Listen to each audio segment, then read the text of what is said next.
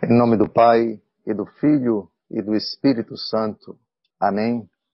Creio em um só Deus, Pai Todo-Poderoso, Criador do céu e da terra, de todas as coisas visíveis e invisíveis.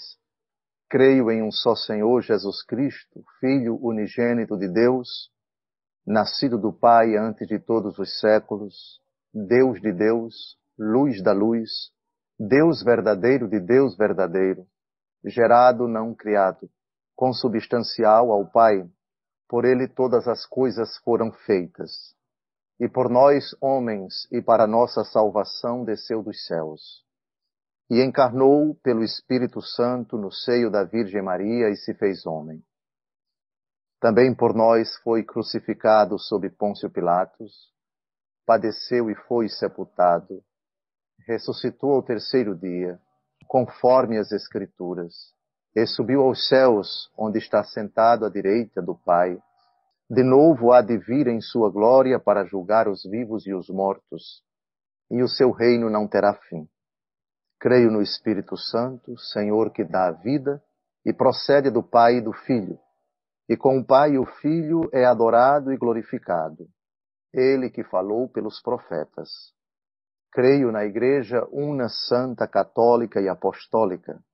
Professo um só batismo para a remissão dos pecados e espero a ressurreição dos mortos e a vida do mundo que há de vir. Amém. Em nome do Pai, do Filho e do Espírito Santo. Amém. Nesta próxima hora, nós vamos estar refletindo, vamos tratar da segunda nota característica da Igreja, creio, a Igreja Santa. A segunda nota característica da Igreja, a santidade. Muito bem, no domingo passado nós tratamos da primeira nota característica da Igreja. Creio, a Igreja Una. Eu recordava no começo da, da nossa live do domingo passado que a Igreja de Nosso Senhor Jesus Cristo não tem um nome oficial. Jesus, por exemplo, no capítulo 16, do Evangelho segundo Mateus, quando disse a São Pedro, em Cesareia de Filipe, Tu és Pedro, e sobre esta pedra edificarei a minha igreja. Ele não deu um nome oficial à igreja dele. Nome oficial é aquele que consta, se se trata de pessoa jurídica, é o, o nome oficial que se encontra no CNPJ. Nosso Senhor Jesus Cristo não teve absolutamente essa, essa preocupação. A igreja de Nosso Senhor Jesus Cristo tem um nome: Igreja. Esse foi o nome que Nosso Senhor Jesus Cristo deu à sua esposa, à sua igreja. Se a Igreja Católica, por vontade de Cristo, se a Igreja de Cristo, por vontade de Cristo, não teve um nome oficial a não ser a palavra Igreja, a comunidade dos eleitos em Cristo Jesus, renovada pelo sangue do Cordeiro e santificada pela força do Espírito Santo, se ela não tem um nome no sentido estrito formal, ela tem notas características. E as notas características da igreja são quatro.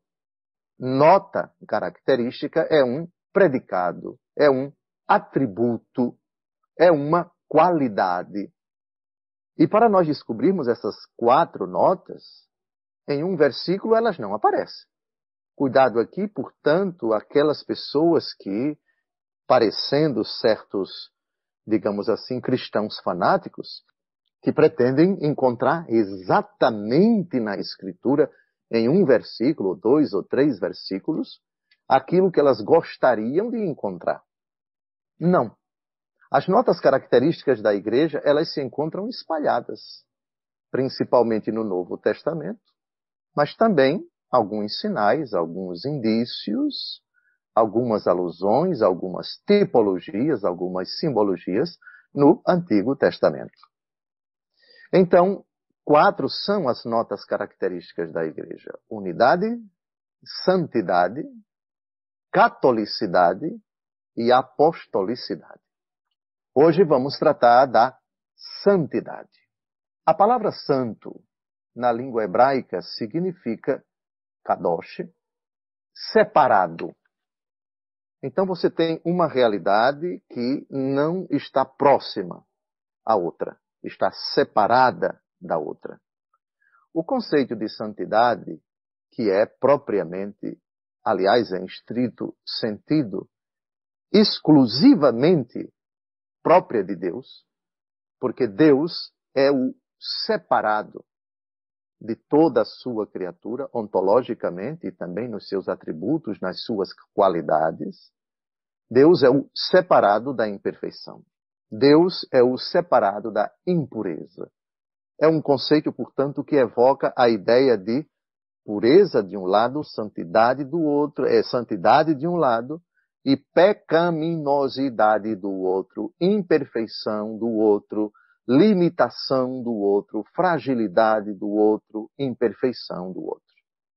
Então não se pode falar de santidade de Deus sem que haja algo fora dele que não tenha o que ele tem, ou que jamais possa se conciliar, estritamente falando, com o próprio Deus.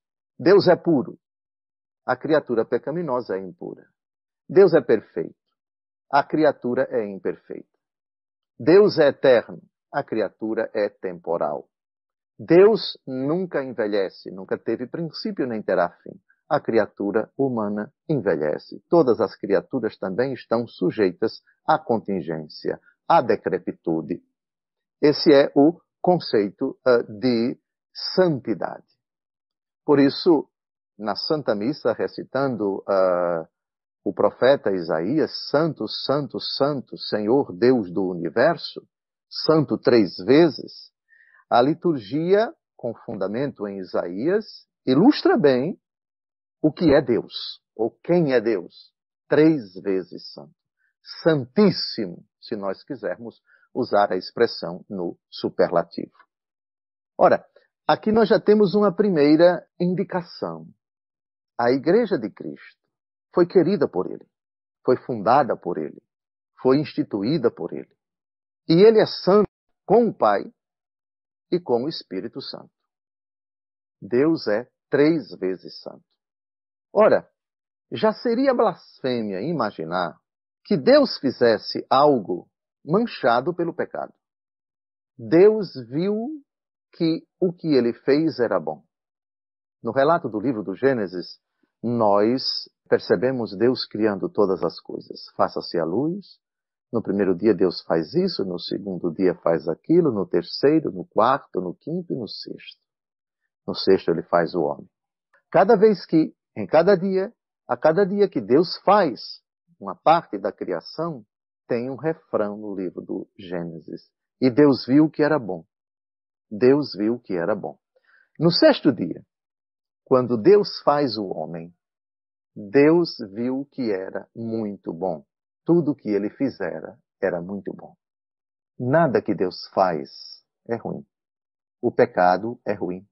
O pecado é mau. Vejam, noções básicas de teologia. Dizer que Deus faz o pecado é forçar afirmar que aquilo que Deus fez já nasceu imperfeito, já nasceu manchado. Por isso, a expressão a igreja é pecadora é uma blasfêmia, é inadmissível, é até uma heresia. A igreja é, aos olhos da fé, indefectivelmente santa. Indefectivelmente significa sem defeito. Cristo Jesus, que é Deus, eu edificarei a minha igreja Deus é puro e Deus é santo. E quem é puro e santo não faz o pecado. Não faz nada assinalado, manchado, desfigurado, emporcalhado, com o perdão da palavra, com o pecado. Façamos o homem a nossa imagem e semelhança. Deus fez o homem sem pecado. Ah, mas ele pecou. Pecou porque Deus fez o homem livre submeteu-o à prova e o homem, provado, optou livremente por desobedecer a Deus. Pois uma coisa é você dizer, Deus fez Adão e Eva puros e depois eles pecaram. O pecado sujou a obra de Deus que foi feita pura. Me parece que Eu não posso dizer, e ninguém pode sustentar, Deus fez o homem pecador. Porque aí você está dizendo que a obra de Deus já nasceu marcada pelo pecado. Você pode dizer, Deus fez Adão pecador? Não. Deus fez Adão puro. Deus fez Adão santo. Deus fez Adão sem mancha. Deus fez Adão sem mácula. Da mesma forma que Jesus Cristo fez a igreja. Pura, santa e sem mácula. O pecado de Adão surgiu depois, por iniciativa dele. Deus permitiu, Deus não impediu. Adão pecou. Certo, o pecado é posterior. O pecado é obra do homem, não iniciativa de Deus. A obra de Deus é o homem. O pecado é obra do homem, livre, que abusou da liberdade. Pronto. Com a ajuda desse exemplo, de Adão e de Eva, nós podemos compreender porque não devemos jamais afirmar que a igreja é pecadora. Até porque Cristo, Filho de Deus, que é o único santo, com o Pai e com o Espírito Santo, amou a sua igreja como sua esposa e entregou-se por ela para santificá-la, uniu-a assim como o seu corpo e cumulou-a com o dom do Espírito Santo para a glória de Deus. Se eu digo que Cristo Jesus quis uma igreja pecadora, fica difícil não afirmar, não insinuar, não concluir que Cristo já quis algo manchado pelo pecado. Depois, Cristo desposou sua igreja. A igreja é a esposa de Cristo. Ora, quando o esposo que é puro, une-se à esposa que é impura, qual é a conclusão que você tira? A conclusão que você tira é que unindo-se com alguma coisa impura, você se torna impuro também. O que, com relação a Jesus Cristo, isso é inadmissível. É claro que a imagem da igreja como esposa não nos leva a afirmar que entre nosso Senhor Jesus Cristo e a igreja esposa houve um ato sexual? Não, de forma alguma. É um eufemismo para dizer, assim como o esposo dá a sua vida pela esposa e se une a ela e os dois se, se, se tornam uma só carne, Cristo Jesus, misticamente, espiritualmente, desposa a sua igreja. E Cristo a purificou com o seu sangue. O sangue de Cristo torna a igreja pura.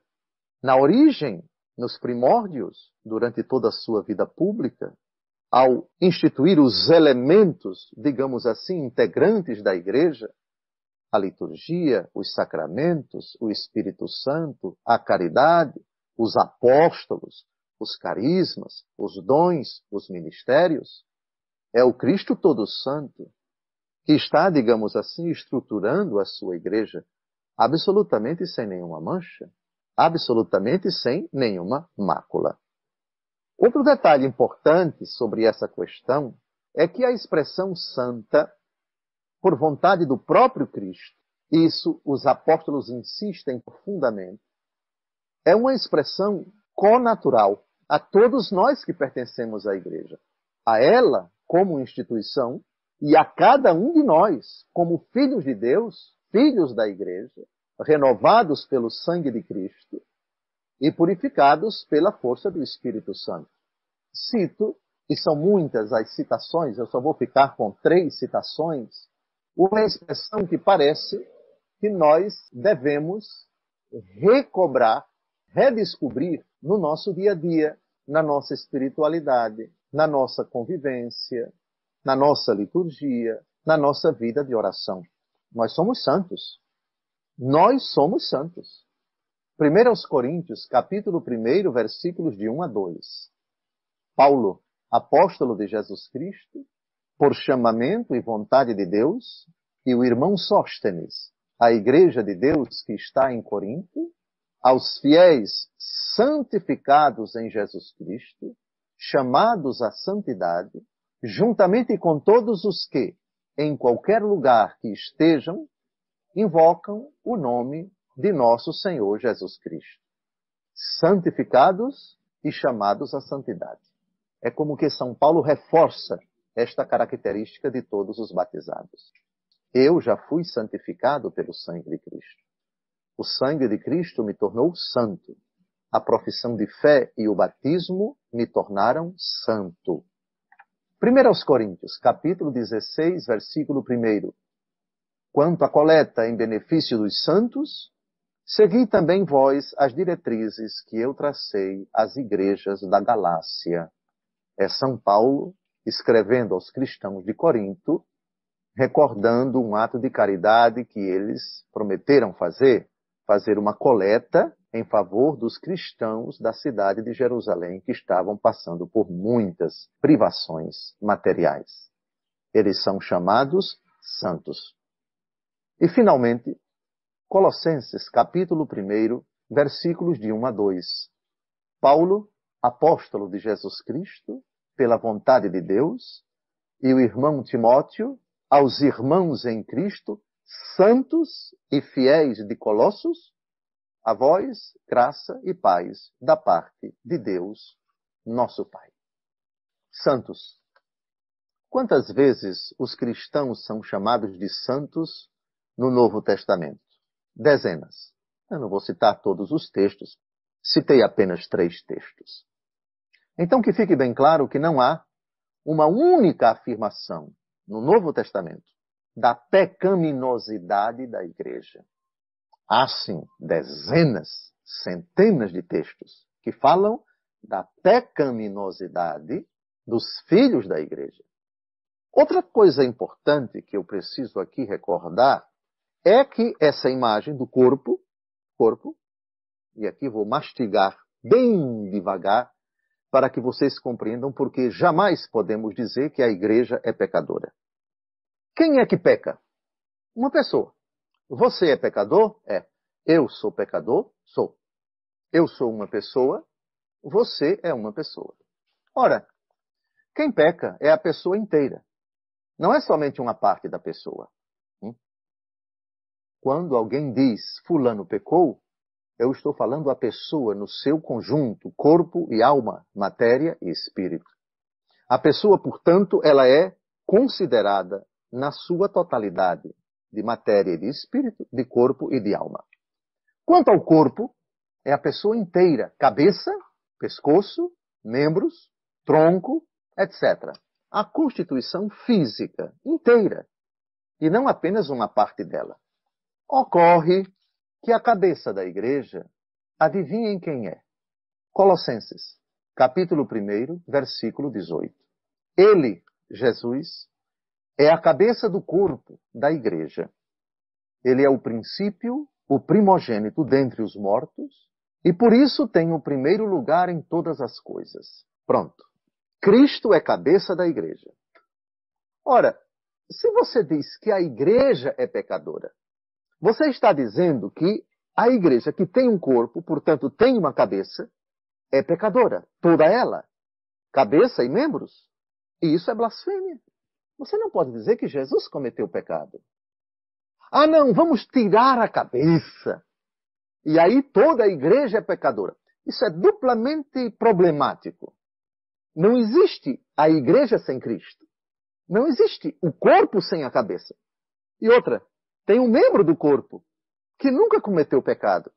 E se você diz que a igreja é pecadora, você está dizendo que este membro, que vou falar agora, uma virgem pura, uma virgem santa, concebida sem pecado, imaculada conceição, cometeu pecado. É duplamente complicado.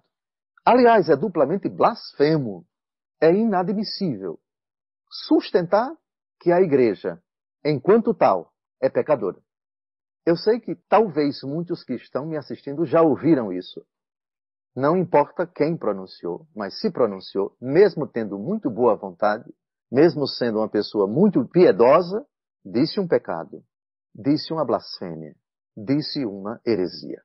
A igreja não é pecadora. A igreja é santa. Somente santa. A igreja nunca disse creio. A igreja como rezamos ainda há pouco, una, santa, católica e apostólica. Alguns querem colocar uma quinta característica: uma santa, católica, apostólica e pecadora. Ora, pelo amor de Deus, durma com um sapo podre desse e acorde na prisão da Papuda em Brasília? Ora, pelo amor de Deus. Não. Espere, portanto, que a ideia da imagem, a imagem que é paulina, é do apóstolo Paulo, Colossenses e a primeira aos Coríntios capítulo 12, nós, embora sendo muitos, formamos um só corpo, do qual Cristo é a cabeça. Portanto, na imagem do corpo da primeira aos Coríntios capítulo 12, é impossível, com Colossenses capítulo 1, versículo 18, ele é a cabeça da igreja, que é o seu corpo, que você sustente uma atrocidade dessa, uma barbaridade dessa, dizer que a igreja é pecadora. A igreja não é pecadora. Essa afirmação causaria muito problema a essa certeza. Quem a instituiu é santo. Sua intenção é santa e o que ele fez foi santo. O pecado de alguns membros da igreja. Isso é posterior, isso não corresponde à vontade do Pai por meio de Cristo, que santificou a igreja pelo seu sangue derramado na cruz.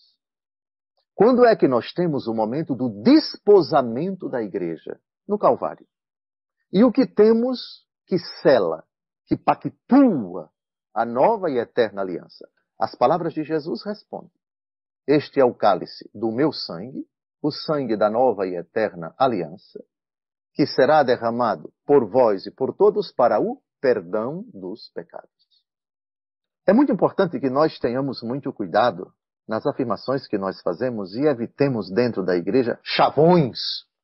A igreja é santa e pecadora. Pecado, blasfêmia e heresia isto.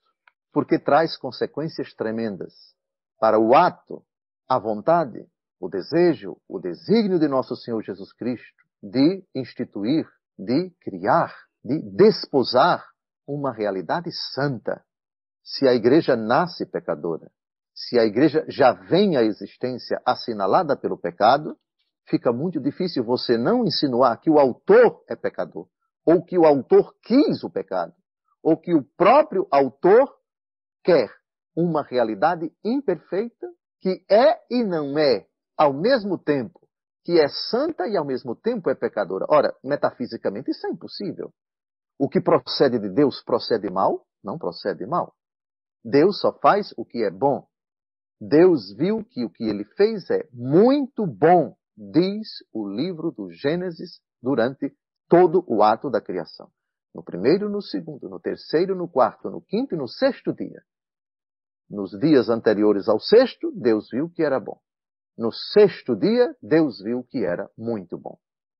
O pecado não é muito bom. O pecado é iniciativa do homem. O pecado é invenção do homem. O pecado desfigura a túnica de Cristo. O pecado dá uma feição que não corresponde à vontade original de Deus para a igreja. Para o homem e para a igreja. Agora vamos ver qual é a alma da santidade da igreja. A alma da santidade da igreja é a caridade. Aqui está um elemento que ajuda a entender porque a igreja é somente santa. É ela que dirige todos os meios de santificação.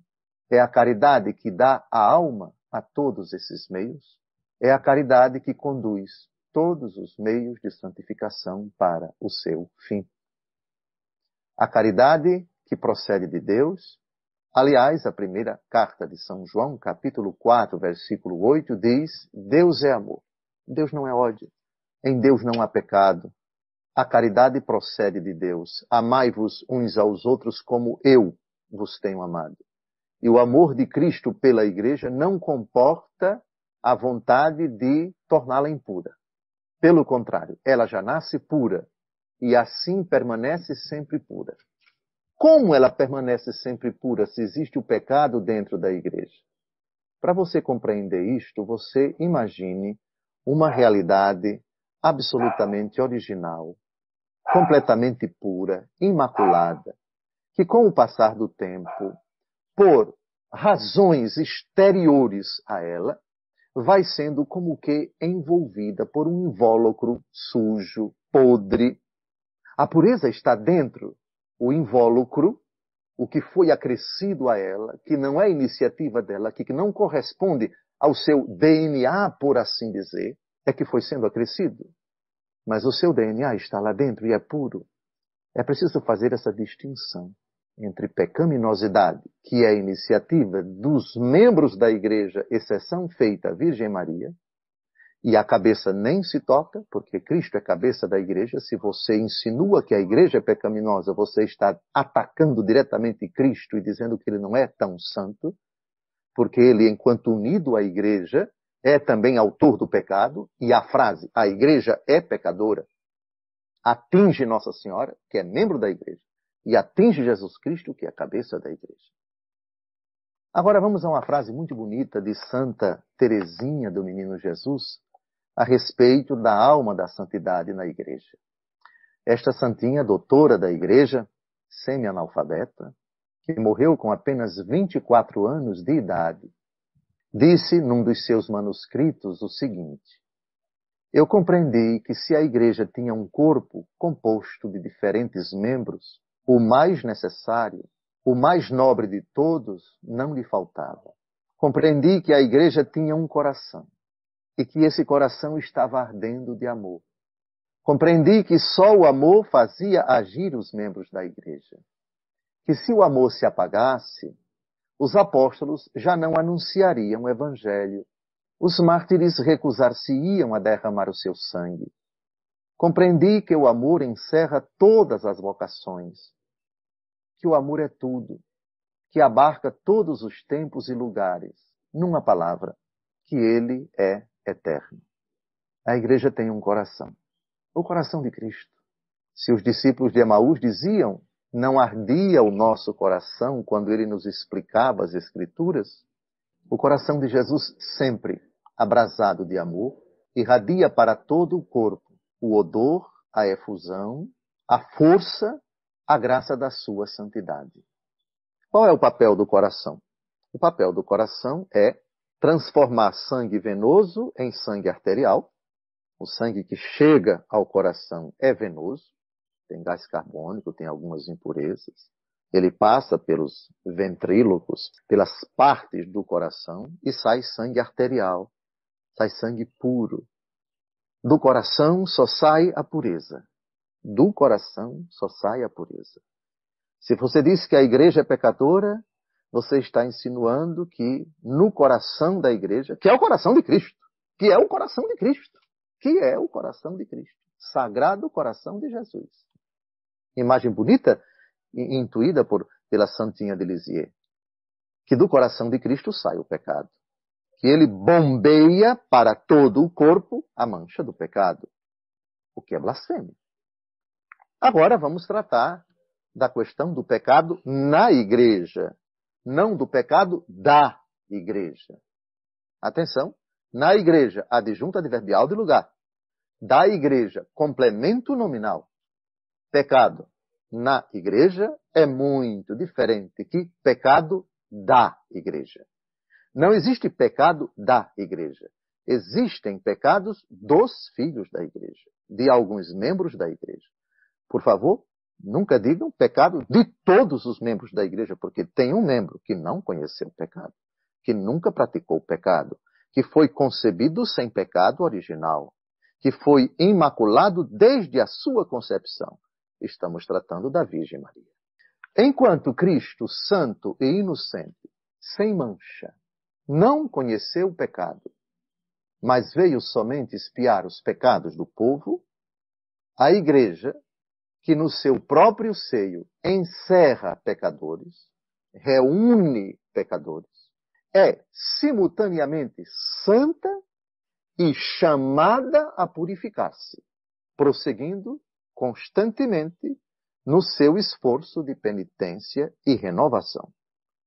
Todos os membros da Igreja, inclusive os seus ministros, devem reconhecer-se pecadores. Então vejam aqui, eu acabei de citar o literalmente o parágrafo 827 do Catecismo da Igreja Católica. igreja santa e chamada a purificar-se. Não santa e pecadora. Santa e pecadora? Olhe, não me faça pecar, rapaz. Não diga uma barbaridade dessa. A igreja é santa e chamada a purificar-se. Não santa e pecadora. E a purificação na igreja não é por aquilo que ela tinha e tem por vontade original de Cristo, que é só santidade, mas por aquilo que os membros do seu corpo, exceção feita a Virgem Maria, praticam a impureza, a imperfeição. E, aliás, exceção feita a Nossa Senhora, vejam só qual é o atributo de pecaminosidade a quem ele se aplica dentro da igreja. 1 João, capítulo 1, de 8 a 10. Se dizemos que não temos pecado, enganamos-nos a nós mesmos, e a verdade não está em nós. Se reconhecemos os nossos pecados, Deus é fiel e justo para nos perdoar os pecados e para nos purificar de toda iniquidade. Se pensamos não ter pecado, nós o declaramos mentiroso e a sua palavra não está em nós. Então, exceção feita a Nossa Senhora, tirando Cristo, que é a cabeça da igreja, aqui está um texto que se aplica a todos os membros da igreja. Pecadores. Membros pecadores. Mas não igreja pecadora. Membros. Ficou claro? Bem, em todos eles, em todos os membros da igreja, exceção feita à cabeça, exceção feita a Nossa Senhora, Nossa Senhora, membro da igreja e mãe dela, Nosso Senhor Jesus Cristo, cabeça da igreja, aplica-se a parábola do joio e do trigo, que, aliás, contém uma expressão, Nosso Senhor Jesus Cristo é muito sábio, é muito sábio. Uma frasezinha nessa parábola, que eu vou ler agora, são seis versículos, e ela explica bem esse discernimento que precisamos fazer quando o assunto é santidade e pecado dentro da igreja. Mateus 13, de 24 a 30. O reino dos céus é semelhante a um homem que tinha semeado boa semente em seu campo. Na hora, porém, em que os homens repousavam, veio o seu inimigo, semeou joio no meio do trigo e partiu.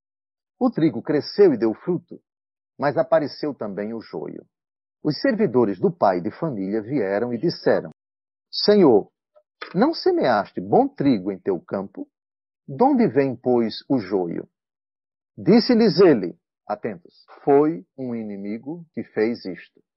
Replicaram-lhe: Queres que vamos e o arranquemos? Não, disse ele.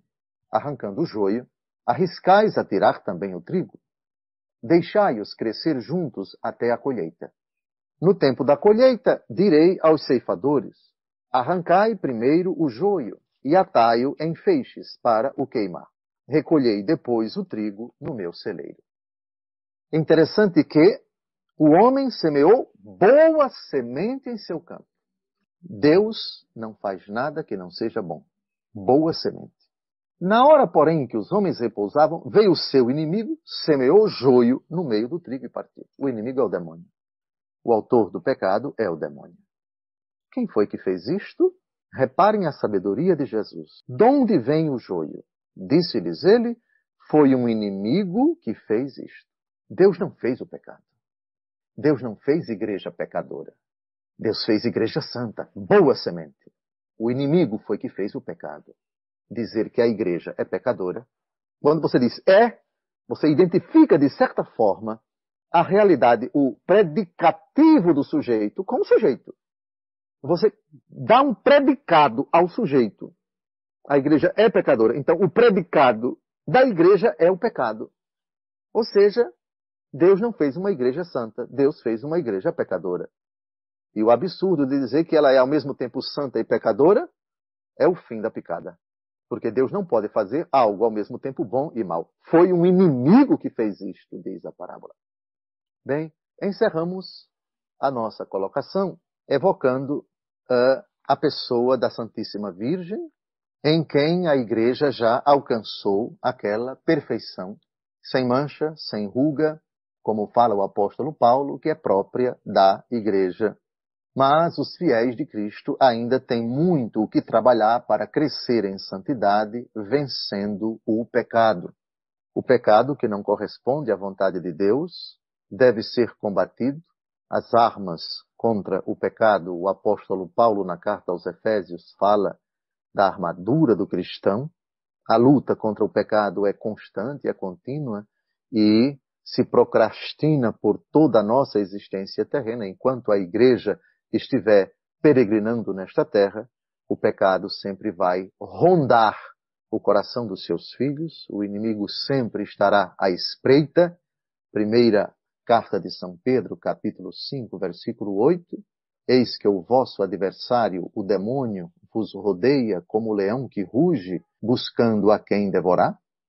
Essa luta, portanto, é renhida, é agressiva, é brutal, não contra a carne nem contra o sangue, mas contra os poderes deste mundo tenebroso, contra as potestades que habitam nos ares, e com o auxílio do Espírito Santo e a força do sangue de Cristo, a igreja, sem dúvida alguma, purifica-se e vai se tornando, e aqui está o segredo para a luta contra o pecado, é crescer em santidade, morrer para o pecado, fazer uma experiência de vida da graça e contar para isso com os auxílios dos meios de santificação, a palavra de Deus, que é santa, os sacramentos que são santos. As coisas santas para os santos, diz um grande adágio dos padres da igreja. As coisas santas para os santos. Santificamo-nos pela palavra do Senhor, pelo seu sangue precioso, pelos sacramentos de santificação, que fortalecem a santidade, pela palavra que santifica, João capítulo 17, versículo 17, santifica-os na verdade. Tua palavra é a verdade.